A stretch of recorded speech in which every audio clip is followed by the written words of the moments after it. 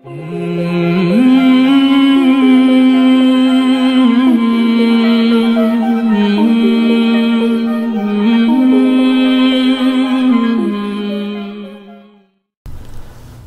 Remind कराता चलूँ कि सैयद साद कादरी इंग्लिश चैनल एक है और इसी तरह मैंने अभी रिसेंटली सैयद साद कादरी कुरान रेसिटेशन का चैनल भी लॉन्च किया है।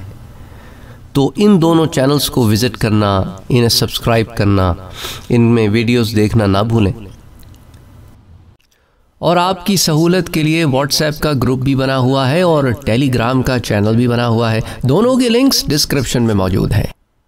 अस्सलाम असलकम वरहमल वबरकatuh जैसा कि आप जानते हैं कि हम क़ुरतलूनी व मुफ़रक़लबमहजून जो फ़क़ी अबुलैस नसर बिन मोहम्मद समरकंदी की किताब है उससे इस्तेफ़ादा हासिल कर रहे हैं और इस ज़मीन में। हम इस मुकाम तक पहुँचे थे पिछले दर्स में कि जन्नतियों के महल के पर्दे सुबह के वक्त, जो वहाँ पे जन्नत में सुबह का इंतज़ाम है, उठा दिए जाएँगे, दरवाज़े खोल दिए जाएँगे। परिंदे चहचहाते हुए अल्लाह अज्जा वजल की तस्बीह बयान करेंगे और बड़ी तफसील के साथ पिछले दर्स में इस पर बात हुई है। देखें जी, दुनिया में भी अल्लाह ताला ने परिंदों के लिए ही नहीं बल्कि हर शय के लिए एक तस्बीह मुकर की मिसाल के तौर पे अगर आप सूरत नूर की आया नंबर 41 देखें तो इसमें अल्लाह ताला इरशाद फरमाता है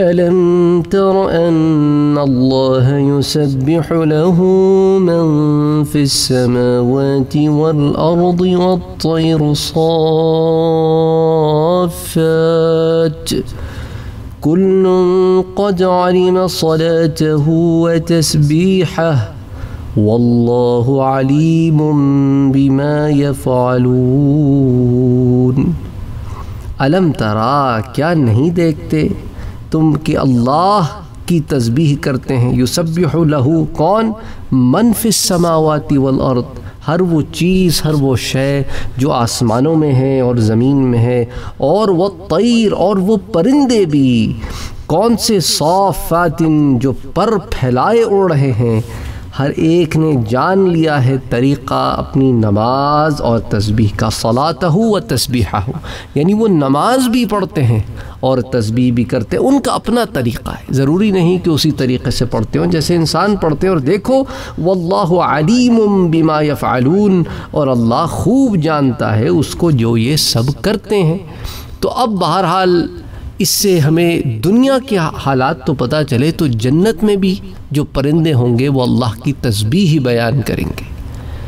आइए आज के दस को आगे लेके चलते हैं, यहाँ से कि हर जन्नती के महल में बड़े बड़े कमरे होंगे और हर कमरे के सत्तर दरवाजे होंगे, इतना बड़ा कमरा होगा। और हर दरवाजे के जो दोनों पट होंगे ना ये जो आपने दो पटे दरवाज़े जो आप सुनते हैं शायद के यूजुअली एक पट होता है दरवाज़े का। तो दो पट के दरवाज़े बड़े कमरों में होते। तो कमरा बड़ा हो तो दो पट के दरवाजे होते हैं, कमरा छोटा हो तो एक पट का या जो चौखट। तो बहरहाल वहाँ पे दो पट के दरवाजे होंगे तो मालूम ये होता है कि हर दरवाज़ा बड़ा चौड़ा होगा और पट भी सोने के होंगे। अच्छा हर दरवाजे पर ऐसा दरख्त होगा जिसका तना सुर्ख मरजान का होगा। और उस दरख्त की कैफियत ये होगी कि उस दरख्त में सत्तर हज़ार टहनियाँ होंगी। हर हर कम, हर हर दरवाजे पर। और हर टहनी सत्तर हज़ार मोतियों से भरी हुई होगी।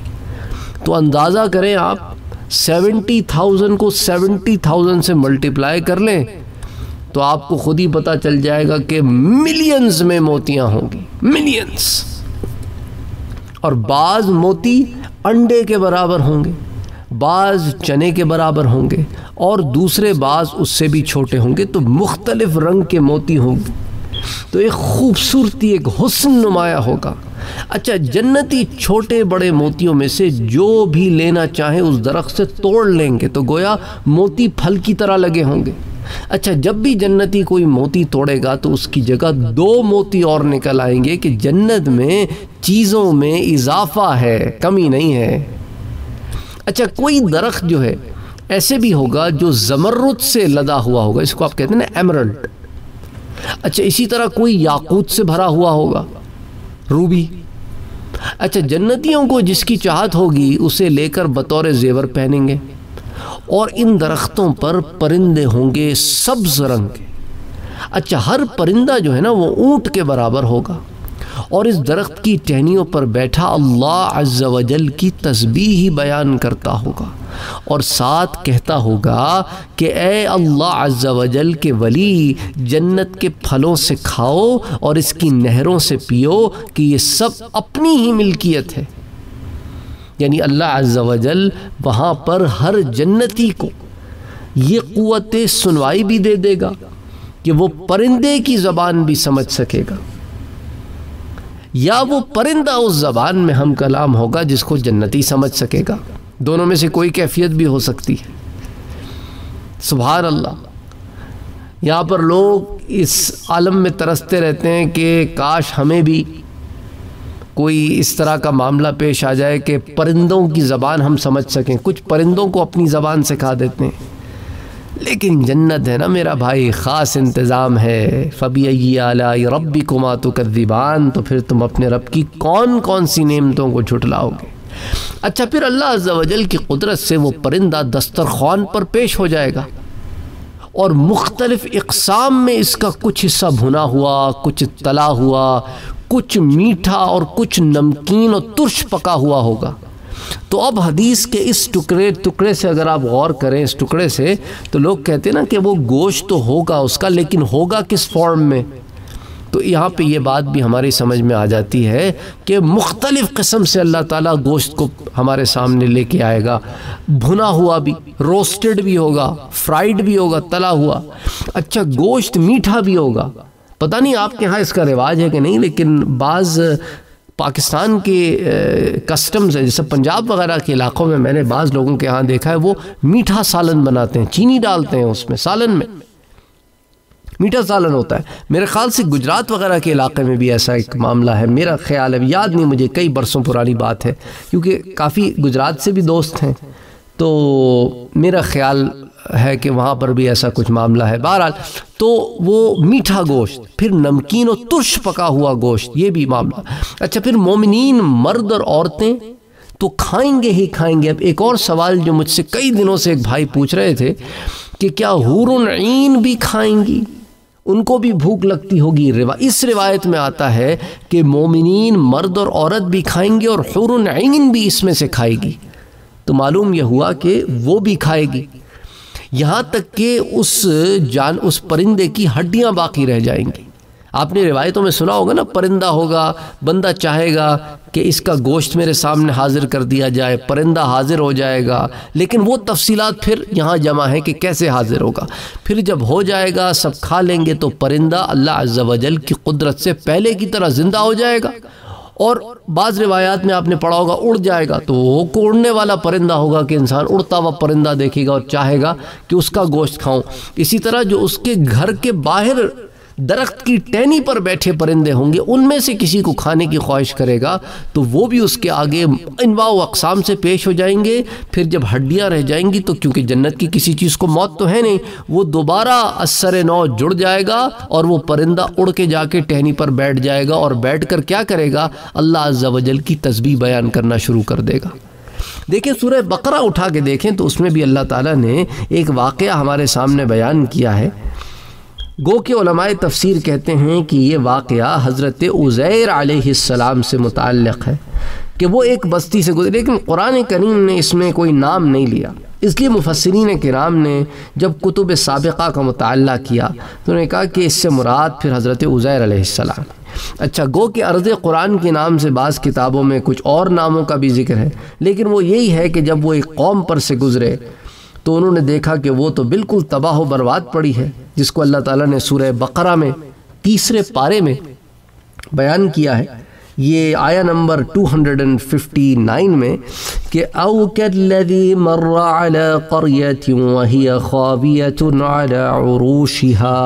यानी ए, एक शख्स का गुज़र हुआ एक बस्ती से अल्लाह ने नाम नहीं लिया और देखा कि वो औंधी गिरी पड़ी है। अपनी छतों पर। तो उन्होंने कहा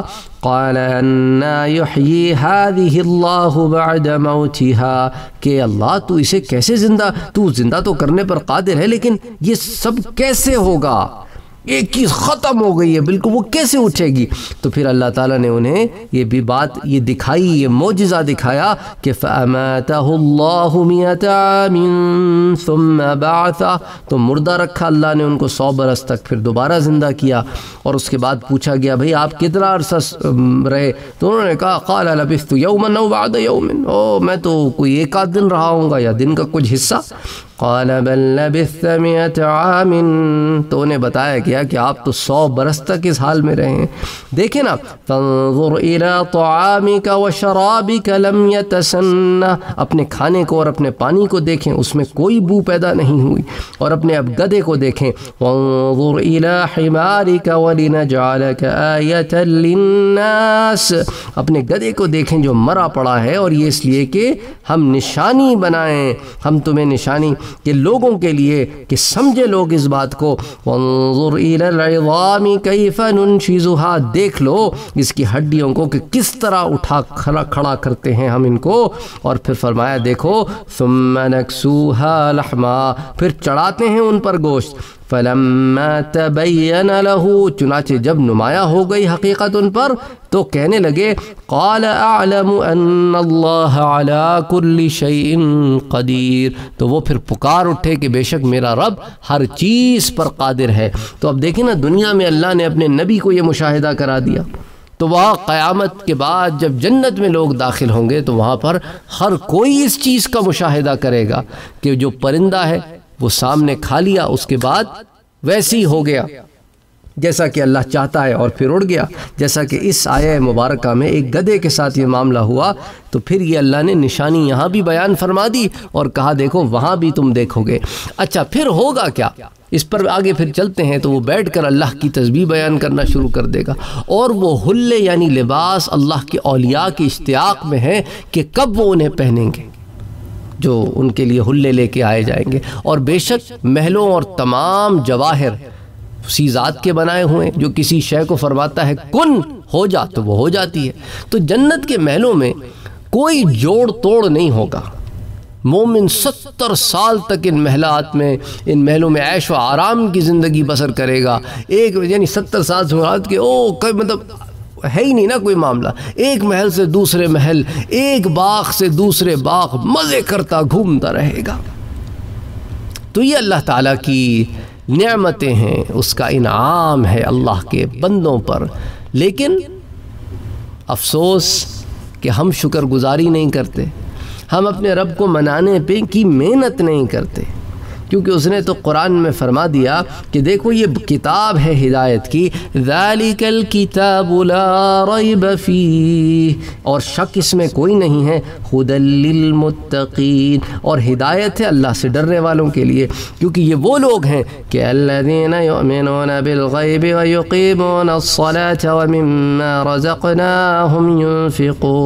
ये वो लोग हैं जो ईमान लाते हैं गैब पर और कायम करते हैं नमाज़ को। और उसमें से जो रिस्क हमने उन्हें दिया है, उसमें से खर्च करते हैं।